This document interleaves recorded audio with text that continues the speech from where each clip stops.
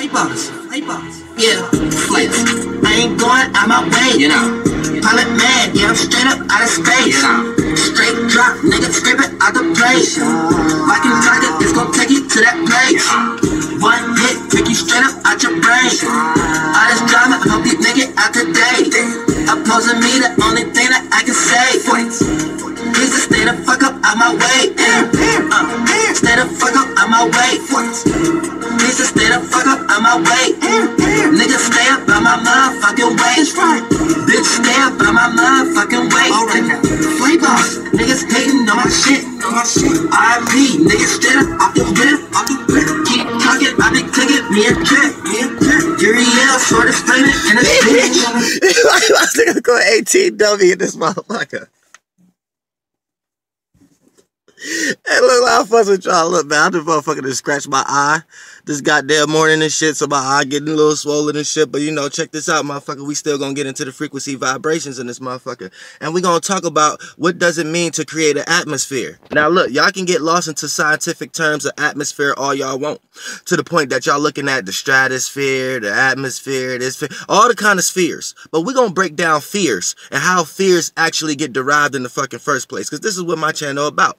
Shout out to the motherfucking subconscious community in this motherfucker. So check this out. And you know, flight morning, everybody. This, listen, you know what I'm saying? I still got the pillow face and all that shit. You know what I'm saying? I had to get up real quick and make a few moves this morning and shit. But you know, for the most part, look, check this out. We're gonna get into what the fuck we talking about. Uh creating an atmosphere. Now, you ain't even got to call it an atmosphere. We could call it sphere because once you want to get scientific, we're going to start talking about all kind of spheres. Now, once we want to get into those kind of spheres, we're going to have to start talking about sizes and the reason why we give it the title before the sphere, like, like the atmosphere and the stratosphere, because we're talking about something going from small to large. You know what I'm saying? And we're talking about a bigger body of water to a smaller body of water. And we're talking about frequency vibrational levels of these bodies of water. So that's basically what a sphere is. So check this out. Now, when we're talking about creating an atmosphere, you ever heard somebody say, man, I'm trying to create a good environment. You know what I'm saying? You might have been around someone who just had children. So they say, I'm trying to create a good environment around my children. You might have found somebody who just got a new business opportunity. So they say, man, look, I'm trying to create a, a good environment around my business so it can flourish. Depending on the circumstance or situation, you may hear somebody say they're trying to create an environment. Now, take that same energetic frequency I'm giving you right now and take that to an esoteric nature, right? This is the same thing when you're creating an atmosphere or when you're creating a sphere. Now, a sphere creates a reality. This is why we call it a sphere of reality. Because, you know, the bigger the sphere is, the bigger the sphere is, the more reality it appears to be. The more realistic it appears to be. The more it has enough chemical and elements and bacteria and archons and parasites in it to formulate what y'all want to call something to vibrate low enough to be seen as solid. You know what I'm saying? Or to be seen as physical. So, this is what we're creating but we're adding so much energy to it that the energy becomes dense. So don't be calling spirit or God energy because spirits are the creator, not the creation. And energy is what we're creating. Your thought is an energy. Your emotions and feelings is an energy. You know what I'm saying? So where they coming from? They're coming from you or they're coming from an external reference, aka another spirit. Nine times out of 10, you need to come to the conclusion within yourself like, okay, as spirits, we're creating these things. So the moment we call ourselves these things, that is a higher version of being lost in the light. Because in a higher realm of reality, these are versions of lights. So you need to keep that in mind.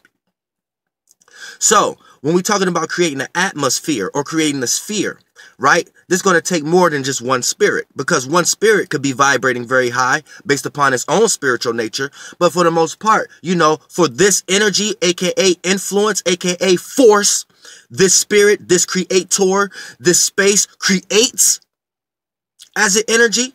You know what I'm saying? Based upon one spirit, this spirit may not have enough soul force to make that influence, that body of water big enough for a lot of other spirits to swim in it, aka to see where that spirit is coming from. Seeing, swimming. So if you're not emitting enough influence, if you're not pushing out enough fluid, enough chakra with your spirit, then it may not cover enough lands, aka cover enough grounds, aka cover enough space to be picked up on, aka paid attention to from other spirits. So they can add their influence on along with it so it can become a big old beach. But for the most part, a big old ocean, a big old star. Now, here's the thing, right? This is why it takes one spirit to attract another spirit based upon this spirit creations, influences, bodies of water. Therefore, once it attracts another spirit, another spirit can add its influence to that body of water also. And once there's a multitude of spirits creating that influence or that body of water, they're all going towards the same idea and feelings and emotions. They create an atmosphere. AKA, when you walk into this environment, you will pick up a certain spirit. This is why when you walk into certain people's households, right? You pick up certain, you pick up different vibrations right? Because within that household, that family have created an environment. So when you walk into that environment, you walk into that atmosphere. So you pick up what? The vibes. This is why the moon control the tides and your emotional state of being. See, you can't be hating on the, the energetic frequency forces out here in astrology if you really don't know how to pinpoint energy. Because you'll be the first person who hate on these things and, and you're the same person who's receiving the energy the same way everybody else is. So you need to keep that in mind. Now, check this out.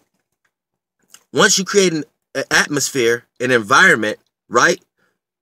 You created a mini sphere, a, a, a, mini cloud, a mini realm of reality. So anytime someone come into your world, aka your surroundings, they pick up the ideas and the feelings that you correlate to. You see what I'm saying? You pick up the feelings and emotions that's correlated to the um to the circumstances of the environment. You you pick up on the thoughts and the ideas of the atmosphere. So for the most part, this puts you in a situation where you understand what you have just created. So this is the whole thing when we talk about creating an atmosphere or when we're, when we're talking about creating a sphere.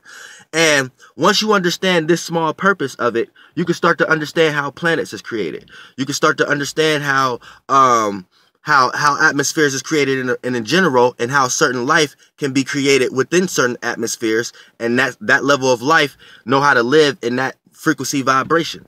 And based upon you being a human this lets you know how to decipher what level of vibration you're in based upon a frequency and based upon spiritually what state of being you are in based upon the, the body that you have created to experience this this level of life that you are in. You see what i'm saying so we're all creating atmosphere, we're all creating environments, and we're all helping each other. This is why it's always subjectivity before objectivity. Because for it to be objectivity, there has to be an agreement with a bunch of subjectivities. And remind you, you can argue with me with that all you want. But if I say your spirit is your space, right? And I don't give a fuck how small you make a space, it's always going to be space within a space. So there's always, it, there came there once upon a time there was a multitude of something that had that didn't have anything to do I don't know why I always forget to delete the previous videos, but look, check this out. There's there's a few key components when it comes into uh, creating a good environment or creating a good atmosphere, right? So for the most part, you need to understand it's going to be heavily backed and supported by um, what matters to you. Now, for the most part, what matters to you is what actually brings the archons and the parasites and the actual bacteria that can get created in these waters, in your influences. So you need to know what matters to you is what actually draw in and manifests as actual matter in your actual life. And the things that's matter is like bacteria and things that could become solid and shit like that. So you have to keep that in mind. You know what I'm saying? When something matters to you, it's something that you have created within one of your influences or your chakras and you honed in on it. So you had got lost in it. So as a spirit, you rotated in that area, in that space for so long that those ideas and feelings and emotions became actual matter. So they took physical representations into your life. And it'll slowly but surely play out as a like a, a spiritual state of being you'll start being in, that a thought a thought form you'll start being in, then you'll start expressing those emotions and feelings, and then you'll start carrying out those things uh, physically. But um, for the most part, you need to understand that um, that's what happens when something matters to you. You start to create stairs. You start to create a ladder. You start to create a grounding to to to stand on. You start to create logic and practicality around something that really has nothing to do with logic and practicality. But this is how things become reality.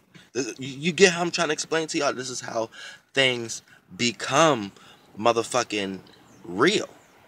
So what y'all think is real when you can say it's not real, yeah, that sounds good, but what basis are you grounding that on? And when I say this realm of reality is not real, and when you think you're waking up, you're actually sleep, you have to actually break it down for someone can clearly understand that. Otherwise, someone would take knowledge like this and really, really psych themselves up into thinking they understand what you're actually trying to say.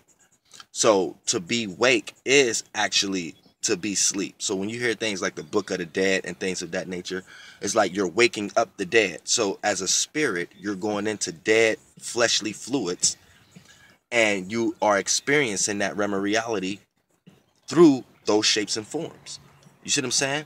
And then once you leave that shape and form as a as a spirit, you understand that Kabbalah or all that other shit. But for the most part, this is what the, the, the Book of Dead is actually trying to break down to you. You know what I'm saying? How you're not the body and how you're going to be separating from the body in some way, shape, or form. Now, um, here's the thing. See, when we're creating an atmosphere um, and we're creating motherfucking environments, this is, don't just look at it like your mundane level. Understand this is how the whole environment is created that you are living in at the moment. You know what I'm saying? So for the most part, yeah, creating an atmosphere. There's key components into creating good ones. You can create a bad one. Like I said, it's it's highly dependent on what matters to you. Now, if there's a lot of positive in, let's not even take into positive and negative right now because once we started into once we started to get into this type of spiritual talk, all tools have to be used in order for you to be able to sustain yourself and you to feel comfortable. You see what I'm saying? Now, here's how you decipher if you have created a good atmosphere or not. Now, you know, you're going to be attracting what matters to you. So if you got a bunch of other spirits adding on what matters to them within your realm of reality and your space also, then you guys are starting to create an atmosphere that could become big enough that other spirits that's in bodies can start. There's their pilot senses start tingling and shit and start picking up the ideas and vibes. Soon as they even come close to your space. And if it's enough of y'all spirits adding on to the same frequency vibration as far as the atmosphere then a, a spirit in a body will be able to pick up on those antennas a block up the street. Before they even come down that street they start to feel the influences of that street. So i'm, I'm, I'm giving y'all the idea how this shit actually works so for the most part, right? If you are in an environment and there's a bunch of negative influences, and I don't want to use negative, but let's just say influences that's not catering to you at the moment, then that lets you know you're adding on to a bad atmosphere. And whatever percentage that you're adding on to it is not big enough to outweigh it for anything to go into your favor. So you're you're either just adding on the chaos and stormy weathers in the esoteric realm to be brought down into your realm of reality, or you're trying to find yourself through that storm and trying to find an umbrella or something like that. But for the most part, and you're trying to weather the storm so you don't destroy yourself. But at the same time, this is what's actually going on.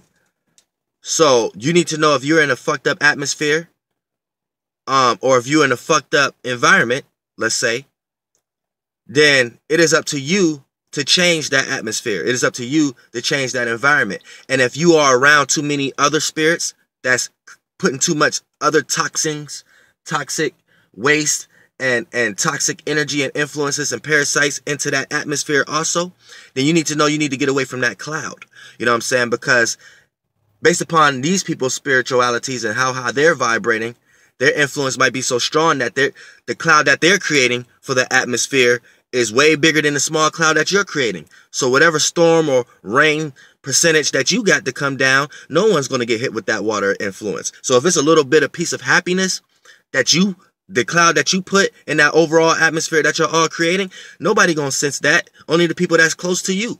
And then they barely gonna pick it up because they're gonna be so heavily influenced by the environment or the atmosphere that's already created that you just gonna get outweighed to the point that you're gonna have to take your little small ass cloud as a spirit and, and float into that, go into that cloud as a spirit, because your spirit is no thing. But go into that cloud you created as that imagination and float lily pond your ass somewhere else. You know what I'm saying? To another day or a nightmare that correlate more to your lights and chakras and your currents and your cloud that you emitting. You know what I'm saying? But for the most part, that's how it works. Now, if you are in an environment or you are in an atmosphere that is catered to you in some way, shape, or form, then I let you know that you are adding to or you are helpful to other other spirits that's in clouds or bodies that's around you and you are helping them see a better influence or see a better day or see a better imagination. Therefore, you, you're helping them brighten up their cloud so their cloud don't look so stormy and ready to storm down on anyone else. AKA, when we look at astrology, when you look at a storm, that's H2O. So that's a development of air and water being compa- being compacted. Once it's so once it becomes dense and so much, you see a storm. So astrological wise, that'll be heavy air and water, uh, heavy cloud. That'll be a person who like to communicate and wash down all their emotional instabilities onto other people almost to the point that this a person to, talk to themselves um and and and throw their emotions and feelings on everybody else due due to verbally and uh communication wise and shit like that. This would be a person who would talk your ears off about their problems. That's esoteric wise that's what i'm explaining right now will be a heavy cloud.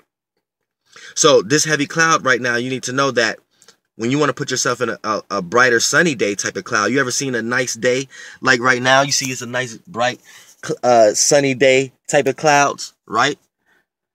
That means that you lighten up your load. So you want to communicate light feelings and emotions, lighten people loads, make people happy, make people appreciative at the moment. You know what I'm saying? Make people feel more lighthearted at the moment and get them out of their dark so they don't have to wash down no deep emotions and thunderstorms and negative. They can wash down some good laughter and happiness at the moment. So, you know, that's it's just esoteric energy that you have to understand. Always understand the energetic frequencies behind things.